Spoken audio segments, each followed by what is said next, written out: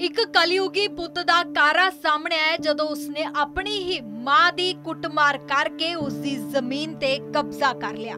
ਹੁਣ ਬਜ਼ੁਰਗ ਮਾਤਾ ਇਨਸਾਫ ਲਈ ਦਰ-ਦਰ ਦੀਆਂ ਠੋਕਰਾਂ ਖਾਂਦੀ ਨਜ਼ਰ ਆ ਰਹੀ ਹੈ। ਇਹ ਘਟਨਾ ਤਰਨਤਾਰਨ ਦੇ ਵਿਧਾਨ ਸਭਾ ਹਲਕਾ ਪੱਟੀ ਦੇ ਪਿੰਡ ਬੇਗਮਪੁਰ ਤੋਂ ਸਾਹਮਣੇ ਆਈ ਹੈ, ਜਿੱਥੇ 85 ਸਾਲਾ ਵਿਧਵਾ ਬਜ਼ੁਰਗ ਔਰਤ ਪ੍ਰਕਾਸ਼ ਕੌਰ ਆਪਣੇ ਹੀ ਪੁੱਤ ਵੱਲੋਂ ਕੀਤੀ ਜਾ ਰਹੀ ਧੱਕੇਸ਼ਾਹੀ ਦੇ ਖਿਲਾਫ ਇਨਸਾਫ ਲੈਣ ਲਈ ਪੁਲਿਸ ਅਧਿਕਾਰੀਆਂ ਦੇ ਦਫ਼ਤਰਾਂ ਦੇ ਚੱਕਰ ਲਗਾ ਕੇ ਧੱਕੇ ਖਾ ਰਹੀ ਹੈ। ਪਰ ਬਜ਼ੁਰਗ ਔਰਤ ਨੂੰ ਇਨਸਾਫ ਮਿਲਦਾ ਨਜ਼ਰ ਨਹੀਂ ਆ ਰਿਹਾ।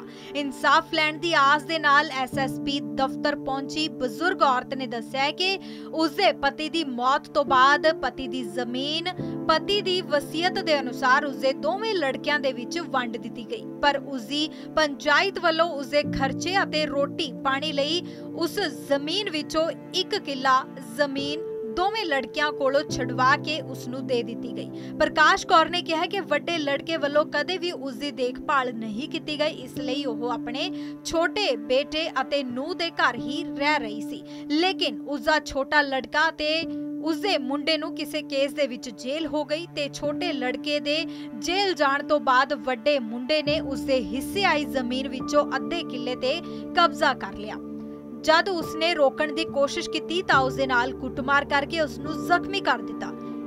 ਜਿਸ ਦੇ ਸਬੰਧ ਦੇ ਵਿੱਚ ਪੁਲਿਸ ਵੱਲੋਂ ਉਸਦੇ ਵੱਡੇ ਮੁੰਡੇ ਅਤੇ ਨੂੰ ਅਤੇ ਪੋਤੇ ਦੇ ਖਿਲਾਫ ਹੁਣ ਥਾਣਾ ਸਰਹਾਲੀ ਵਿਖੇ ਕੇਸ ਦਰਜ ਕੀਤਾ ਗਿਆ ਪਰ ਉਹਨਾਂ ਨੂੰ ਗ੍ਰਿਫਤਾਰ ਨਹੀਂ ਕੀਤਾ ਜਾ ਰਿਹਾ। ਬਜ਼ੁਰਗ ਔਰਤ ਨੇ ਦੱਸਿਆ ਕਿ ਉਸਦੇ ਮੁੰਡੇ ਵੱਲੋਂ ਬੀਤੇ ਦਿਨ ਵੀ ਉਧਰ ਜਦੋਂ ਇਸ ਸੰਬੰਧੀ ਥਾਣਾ ਸਰਹਾਲੀ ਪੁਲਿਸ ਨਾਲ ਸੰਪਰਕ ਕੀਤਾ ਗਿਆ ਤਾਂ ਮੌਕੇ ਤੇ ਮੌਜੂਦ ਡਿਊਟੀ ਅਫਸਰ ਦਿਲਬਾਗ ਸਿੰਘ ਨੇ ਦੱਸਿਆ ਕਿ ਪ੍ਰਕਾਸ਼ ਕੌਰ ਨਾਲ ਹੋਏ ਝਗੜੇ ਦੇ ਸਬੰਧ ਦੇ ਵਿੱਚ ਪੁਲਿਸ ਵੱਲੋਂ ਵੱਖ-ਵੱਖ ਧਾਰਾਵਾਂ ਦੇ ਤਹਿਤ ਮੁਕੱਦਮਾ ਦਰਜ ਕਰਕੇ ਉਸ ਦੇ ਵੱਡੇ ਮੁੰਡੇ, ਪਤਨੀ ਅਤੇ ਲੜਕੇ ਦੇ ਖਿਲਾਫ ਮਾਮਲਾ ਦਰਜ ਕਰ ਲਿਆ ਜਿਸ ਸੰਬੰਧੀ ਦੂਜੀ ਧਿਰ ਵੱਲੋਂ ਉੱਚ ਅਧਿਕਾਰੀਆਂ ਦੇ ਪੇਸ਼ ਹੋ ਕੇ ਦਰਜ ਮੁਕੱਦਮੇ ਦੀ ਮੁੜ ਇਨਕੁਆਇਰੀ ਲਗਾ ਦਿੱਤੀ ਗਈ। ਹੈ ਇਨਕੁਆਇਰੀ ਰਿਪੋਰਟ ਆਉਣ ਤੋਂ ਬਾਅਦ ਬਣਦੀ ਕਾਰਵਾਈ ਅਮਲ ਦੇ ਵਿੱਚ ਲਿਆਂਦੀ ਜਾਵੇਗੀ। ਪਰ ਬਜ਼ੁਰਗ ਔਰਤ ਦਾ ਕਹਿਣਾ ਹੈ ਕਿ ਪੁਲਿਸ ਉਸ ਦਾ ਸਾਥ ਨਹੀਂ ਦੇ ਰਹੀ ਤੇ ਜਿਸ ਕਾਰਨ ਉਸ ਨੂੰ ਦਰ-ਦਰ ਦੀਆਂ ਠੋਕਰਾਂ ਖਾਣ ਲਈ ਮਜਬੂਰ ਹੋਣਾ ਪੈ ਰਿਹਾ ਹੈ।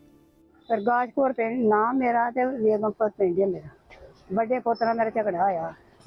ਉਹ ਨੌਂ 40 45 ਸਾਲ ਹੋ ਗਿਆ ਉਹ ਨਹੀਂ ਮੈਨੂੰ ਫਿਕਰ ਦਿੰਦੀ ਕਿਤੇ ਵੀ। ਅਸੀਂ ਇਹਨਾਂ ਕੰਮਾਂ ਤੋਂ ਡਰਦੇ ਹਾਂ ਤੇ ਅਸੀਂ ਡਰਦੇ ਉਹਦੇ ਕੋਲ। ਕੁੱਟਮਾਰੀ ਖਾ ਕੇ ਤੇ ਅੰਦਰ ਵੜ ਜਾਂਦੇ ਹਾਂ, ਕੋਈ ਗੱਲ ਨਹੀਂ ਕਰਦੇ ਹੁਣ ਉਹਦਾ ਜ਼ੋਰ ਪੈ ਗਿਆ ਮੇਰਾ ਨਿੱਕਾ ਪੁੱਤ ਜੇਲ੍ਹ 'ਚ ਆ। ਤੇ ਉਹਨਾਂ ਹੁਣ ਮੇਰੀ ਜਿਹੜੀ ਪੈੜੀ ਹੈ ਕਿੱਲਾ ਸੀ ਪੈੜੀ ਵੱਡੇ ਦੀ ਕਿੱਲਾ ਨਿੱਕੇ ਦੀ। ਉਹ ਜਿਹੜਾ ਵੱਡਾ ਸੀਗਾ ਉਹਨੇ ਨਿੱਕੇ ਦੇ ਮਨਾਰ ਸਾਂ। ਉਹ ਮੈਨੂੰ ਰੋਟੀ ਪਾਣੀ ਦਿੰਦਾ ਸੀ। ਤੇ ਵੱਡਾ ਵਾ ਜਿਹੜਾ ਉਹਦੇ ਤੋਂ ਮੋਬਾਈਲ ਲਈ ਸੀ। ਉਹਨੇ ਉਹਦਾ ਬਾਪ ਪੂਰਾ ਹੋ ਗਿਆ ਤੇ ਪਰ ਉਹਨੇ ਅੱਧਾ ਕਿੱਲਾ ਜਿਹੜਾ ਉਹ ਵਾਲਿਆ ਆਪਣਾ, ਮੁਲਕ ਇਕੱਠਾ ਕਰਕੇ, ਹੈ। ਤੇ ਹੁਣ ਉਹ ਅਜੇ ਸਾਲ ਹੋਇਆ ਵਾ ਜਹਾਰ ਦੇ ਵਿੱਚ ਆਣ ਕੇ ਤੇ ਉਹਨੇ ਵਿਸਾਖ ਦਾ ਫੇਰ ਭੱਜਾ ਫਿਰਦਾ, ਹੁਣ ਫੇਰ ਪਈ ਵਾਰੀ ਆ। ਕੋਈ ਮੇਰਾ ਥਾਣੇ 'ਚ ਨਿਆਂ ਨਹੀਂ ਹੋਇਆ, ਕੋਈ ਐਸਡੀ ਦੇ ਨਿਆਂ ਨਹੀਂ ਹੋਇਆ, ਮੈਂ ਪਤਾ ਨਹੀਂ ਕਿੱਥੇ ਕਿੱਥੇ ਪੁੱਤ ਪੱਟੀ ਨਹੀਂ ਧੱਕੇ ਖਾਦੇ ਆ। ਕੋਈ ਨਹੀਂ ਸੁਣਦਾ ਮੇਰੇ। ਹਾਂ, ਕੁੱਟਮਾਰੀ ਕੀਤੀ।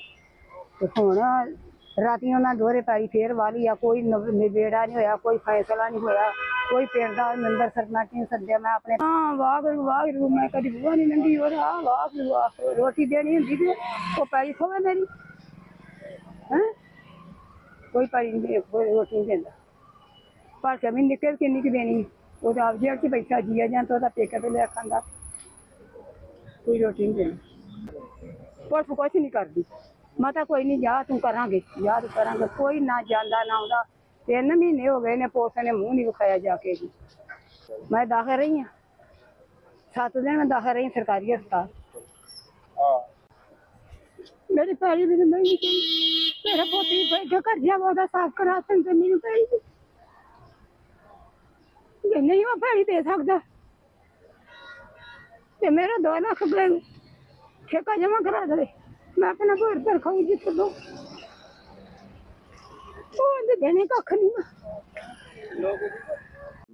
ਸਰ, ਉਹਨਾਂ ਤੇ ਮ- ਉਹਨਾਂ ਵੱਲੋਂ ਪ੍ਰਕਾਸ਼ ਕੌਰ ਵੱਲੋਂ ਮੁਕਦਮਾ ਨੰਬਰ 62 ਦਰਜ ਹੋਇਆ ਜੀ।